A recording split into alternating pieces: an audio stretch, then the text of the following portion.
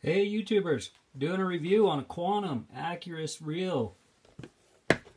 Picked this reel up for a song and a dance. This reel retails for 99 bucks. I got it for 60. Just want to tell you, this is a fantastic reel. If you can pick one of these up for 60 bucks, do it. This is the reel. Has this machined out rotor right here. Has a titanium bale wire has the red anodized alloy highlights on it. This reel is a really sharp looking reel. This reel, it is as smooth as butter. I would look into one of these. If you're into any kind of like trout fishing is what I do. This has been a fantastic reel. I've been fishing it for a year now. It holds 180 yards of 8 pound mono. It weighs 8.9 ounces. It has eight bearings, has seven, and then the one in the clutch.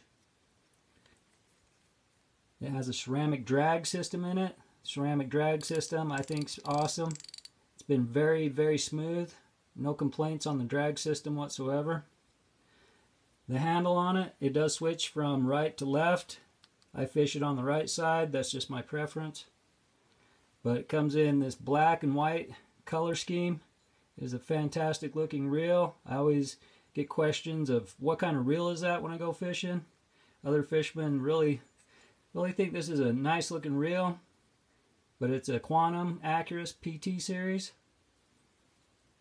I would take and uh, pick one up in a heartbeat if I could find another one for 60 bucks.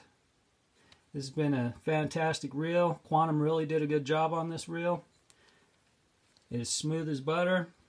Has a reverse down here if you want to reverse it. Flip the switch and reverse it.